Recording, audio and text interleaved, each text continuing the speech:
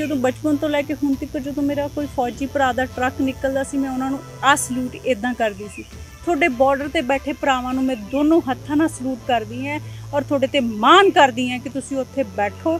ਇਹ ਕਾਲੇ ਕਾਨੂੰਨ ਤੁਸੀਂ ਵਾਪਸ ਲੈਣ ਦੀ ਲੜਾਈ ਜਾਰੀ ਰੱਖੋ। ਸਾਡੇ ਵਰਗੇ ਲੋਕ ਤੁਹਾਡੇ ਖੇਤਾਂ ਦੇ ਵਿੱਚ ਦਿਨ ਰਾਤ ਕੰਮ ਕਰਨ। ਇੱਕ ਪੜ੍ਹੇ ਲਿਖੇ ਵਰਗ ਦੀ ਧੀ ਹੋ ਕੇ ਇਹ ਸੁਨੇਹਾ ਦੇਣਾ ਚਾਹਨੀ ਹੈ ਕਿ ਇਹ ਚਿੰਗਾੜੀ ਉਸ ਪ੍ਰਦੇਸ਼ ਤੋਂ ਛਿੜੀ ਹੈ। ਜਿਸ ਪ੍ਰਦੇਸ਼ ਦੀ ਕੌਮ ਦੇ ਲੋਕ ਮੁਗਲਾਂ ਨੂੰ ਪਛਾਣ ਲਈ ਗੁਰੂ ਗੋਬਿੰਦ ਸਿੰਘ ਜੀ ਦੀ ਫੌਜ ਦੇ ਲੋਕ ਜੰਗਲਾਂ 'ਚ ਰਹਿ ਕੇ, ਪੱਥਰਾਂ ਤੇ ਸੌਂ ਕੇ, ਭੁੱਖੇ ਰਹਿ ਕੇ ਉਹਨਾਂ ਨੇ ਲੜਾਈ ਲੜੀ ਸੀ, ਇਹ ਉਸ ਕੌਮ ਦੇ ਲੋਕ ਨੇ। ਅਗਰ ਤੁਹਾਡਾ ਰਵਈਆ ਵਾਪਸ ਲੈਣ ਵਾਲਾ ਨਹੀਂ ਹੈ ਤੇ ਸਾਡੀ ਕੌਮ ਦਾ ਰਵਈਆ ਵੀ ਇਹ ਵਾਪਸ ਲੈਣ ਵਾਲਾ ਨਹੀਂ ਹੈ। ਸਾਡੇ ਸਾਰੇ ਕਿਸਾਨ ਭਰਾ ਮੈਂ ਇਹ ਅੱਜ ਇਹੀ ਸੁਨੇਹਾ ਦੇਣਾ ਚਾਹੁੰਦੀ ਹਾਂ, ਤੁਸੀਂ ਬਾਰਡਰ ਤੇ ਬੈਠ ਕੇ ਗੂੰਗੀ ਬੈਰੀ ਸਰਕਾਰ ਨੂੰ ਸੁਣਾਓ। ਉਹਨਾਂ ਨੂੰ ਇਹ ਸੁਨੇਹਾ ਦਿਓ ਕਿ ਤੁਹਾਡੇ ਬਿਨਾਂ ਦੇ ਵਿੱਚ ਕੀ ਖਾਮੀਆਂ ਨੇ।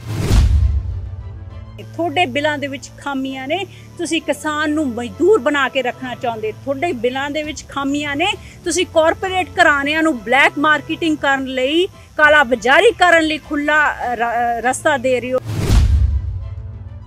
ਕੇਂਦਰ ਸਰਕਾਰ ਦੇ ਖੇਤੀ ਕਾਨੂੰਨਾਂ ਨੂੰ ਰੱਦ ਕਰਵਾਉਣ ਲਈ ਲਗਾਤਾਰ ਸੰਘਰਸ਼ ਜਾਰੀ ਹੈ। ਇਸ ਕਿਸਾਨੀ ਅੰਦੋਲਨ ਨੇ ਪਿੰਡਾਂ ਅੰਦਰ ਪਿਆਰ ਅਤੇ ਸਾਂਝ ਦੀ ਪਿਰਤ ਨੂੰ ਇੱਕ ਵਾਰ ਫਿਰ ਜਿਉਂਦਾ ਕਰ ਦਿੱਤਾ ਹੈ। ਜਿਹੜੇ ਲੋਕ ਦਿੱਲੀ ਮੋਰਚੇ 'ਚ ਡਟੇ ਹੋਏ ਨੇ, ਉਹਨਾਂ ਦੇ ਖੇਤਾਂ 'ਚ ਆਂਡੀ ਗੁਆਂਢੀ ਕੰਮ ਸੰਭਾਲ ਰਹੇ ਨੇ। ਅਜਿਹਾ ਹੀ ਦ੍ਰਿਸ਼ ਮੋਗਾ 'ਚ ਵੇਖਣ ਨੂੰ ਮਿਲਿਆ।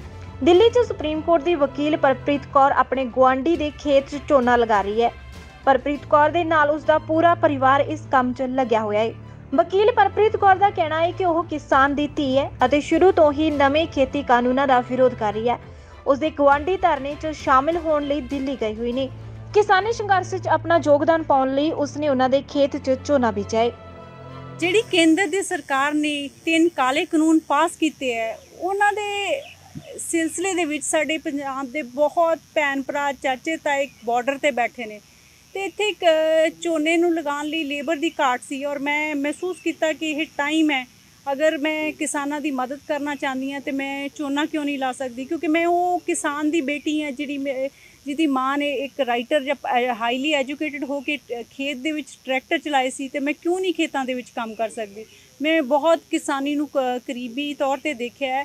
ਔਰ ਮੈਂ ਕੇਂਦਰ ਦੀ ਸਰਕਾਰ ਨੂੰ ਇਹ ਕਹਿਣਾ ਚਾਹਨੀ ਹੈ ਕਿ ਇਹ ਜਿਹੜੇ ਤੁਸੀਂ ਕਾਲੇ ਕਾਨੂੰਨ ਕਾਲੇ ਤਿੰਨ ਬਿੱਲ ਪਾਸ ਕੀਤੇ ਨੇ।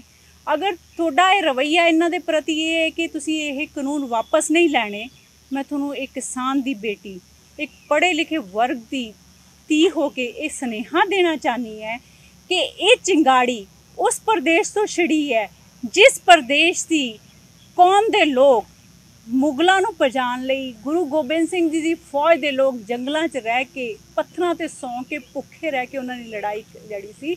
ਇਹ ਉਸ ਕੌਮ ਦੇ ਲੋਕ ਨੇ।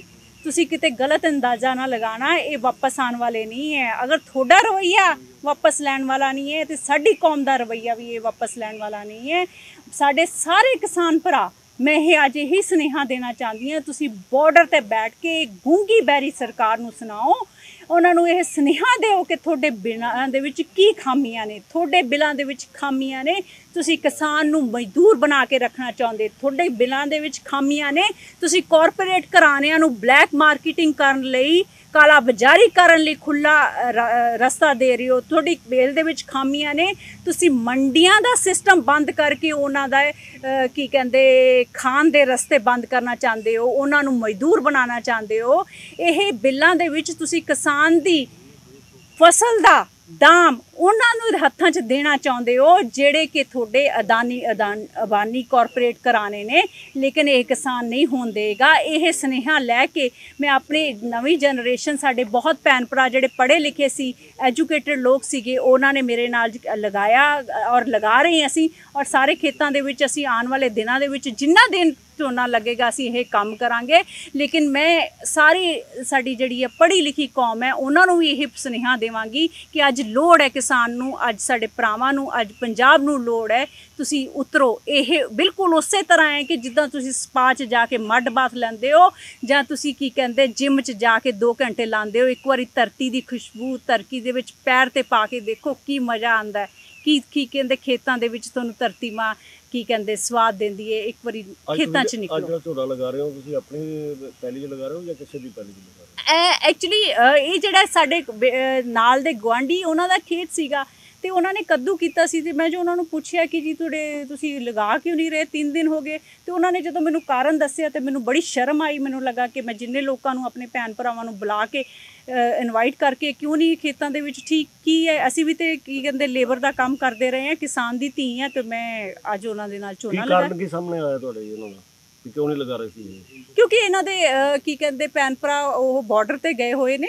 ਉਹਨਾਂ ਕੋਲ ਲੇਬਰ ਦੀ ਥੋੜੀ ਕਮੀ ਸੀਗੀ। ਉੱਥੇ ਬੈਠੇ ਕੇਂਦਰ ਦੀ ਸਰਕਾਰ ਨਾਲ ਲੜਾਈ ਲੜ ਰਹੇ ਨੇ। ਇਸ ਕਰਕੇ ਮੈਂ ਉਹਨਾਂ ਦੇ ਨਾਲ ਮਦਦ ਕਰ ਰਹੀ ਹਾਂ। ਆਮ ਲੋਕਾਂ ਨੂੰ ਤੁਸੀਂ ਕੀ ਮੈਸੇਜ ਦਿੰਦੇ ਹੋ? ਜਿਹੜੇ ਕਿਸਾਨ ਬਾਰਡਰ ਦੇ ਉੱਤੇ ਬੈਠੇ ਨੇ ਔਰ ਉਹਨਾਂ ਦੀ ਫਸਲ ਦੀ ਜਿਹੜੀ ਬਿਜਾਈ ਕਰਨ ਵਾਲੇ ਜੀ ਮੈਂ ਜਿਹੜੇ ਬਾਰਡਰ ਤੇ ਬੈਠੇ ਭਰਾ ਉਹਨਾਂ ਨੂੰ ਇਹ ਸੁਨੇਹਾ ਦੇਣਾ ਚਾਹੁੰਦੀ ਹਾਂ ਕਿ ਜਦੋਂ ਬਚਪਨ ਤੋਂ ਲੈ ਕੇ ਹੁਣ ਤੱਕ ਜਦੋਂ ਮੇਰਾ ਕੋਈ ਫੌਜੀ ਭਰਾ ਦਾ ਟਰੱਕ ਨਿਕਲਦਾ ਸੀ ਮੈਂ ਉਹਨਾਂ ਨੂੰ ਆ ਸਲੂਟ ਇਦਾਂ ਕਰਦੀ ਸੀ। ਤੁਹਾਡੇ ਬਾਰਡਰ ਤੇ ਬੈਠੇ ਭਰਾਵਾਂ ਨੂੰ ਮੈਂ ਦੋਨੋਂ ਹੱਥਾਂ ਨਾਲ ਸਲੂਟ ਕਰਦੀ ਹਾਂ ਔਰ ਤੁਹਾਡੇ ਤੇ ਮਾਣ ਕਰਦੀ ਹਾਂ ਕਿ ਤੁਸੀਂ ਉੱਥੇ ਬੈਠੋ। ਇਹ ਕਾਲੇ ਕਾਨੂੰਨ ਤੁਸੀਂ ਵਾਪਸ ਲੈਣ ਦੀ ਲੜਾਈ ਜਾਰੀ ਰੱਖੋ। ਸਾਡੇ ਵਰਗੇ ਲੋਕ ਤੁਹਾਡੇ ਖੇਤਾਂ ਦੇ ਵਿੱਚ ਦਿਨ ਰਾਤ ਕੰਮ ਕਰਨ। ਪਰਪ੍ਰੀਤ ਕੌਰ ਨੇ ਨੌਜਵਾਨਾਂ ਨੂੰ ਅਪੀਲ ਕੀਤੀ ਕਿ ਉਹ ਉਹਨਾਂ ਪਿੰਡਾਂ 'ਚ ਜਾਣ ਜਿੱਥੋਂ ਦੇ ਕਿਸਾਨ ਦਿੱਲੀ ਧਰਨੇ 'ਚ ਸ਼ਾਮਿਲ ਨੇ। ਅਜਿਹੇ ਕਿਸਾਨਾਂ ਦੇ ਖੇਤਾਂ 'ਚ ਜਾ ਕੇ ਨੌਜਵਾਨ ਉਹਨਾਂ ਦੀਆਂ ਫਸਲਾਂ ਦੀ ਬਿਜਾਈ ਕਰਨ, ਜਿਸ ਨਾਲ ਉਹਨਾਂ ਦੀ ਮਦਦ ਹੋਵੇਗੀ। ਮੋਗਾ ਤੋਂ ਦਲੀਪ ਕੁਮਾਰ ਦੀ ਰਿਪੋਰਟ, ਸਪੋਕਸਮੈਨ ਟੀਵੀ।